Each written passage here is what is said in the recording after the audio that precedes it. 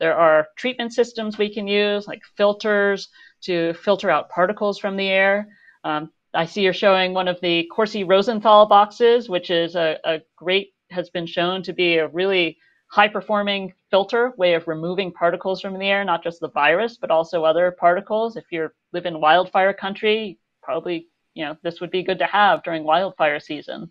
Are they, tell me about this because uh, anyone, it's called a, a Corsi Rosenthal box. You can get plans online, and you can see it's very simple. I mentioned it to a friend of mine, and and she made like within a day or two using a fan she already had. She went to one store and got some filters and taped it up and made one at a total cost of $50, $60. Uh, she already had the fan.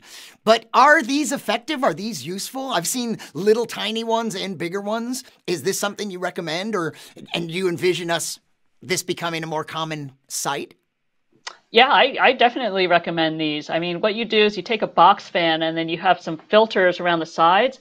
Um, I think people have been using MERV 14 filters ideally. So MERV refers to the rating of a filter, how well it filters out particles. You can use HEPA filters, um, but th that's going to uh, be harder for the air to move through. So you still get very good performance with the, the MERV 14 filters. You get four of them, you set them up kind of as the walls, and you put your box fan on top. Uh, and the air that gets pulled through the filters and then by the fan exhausted upwards is going to have most of the particles removed from it. And I've seen people have been test colleagues have been testing these and they perform really well. So your other alternative is to go out and buy a HEPA portable HEPA air cleaner for maybe two or three hundred dollars, and this performs better than those, and it costs less. Oh, really? Oh no, no! Oh, this performs better than the purchase, the one you could buy. Yes. So, so one thing to think about is, okay, you think, oh, I'm going to go get a portable air cleaner. It's HEPA, so that's the best.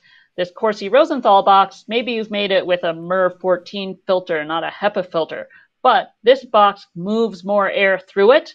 And so that air, you know, once the air passes through there a couple of times, you're two or three times, it's almost, it's performing like a HEPA filter in terms of what we call the clean air delivery rate.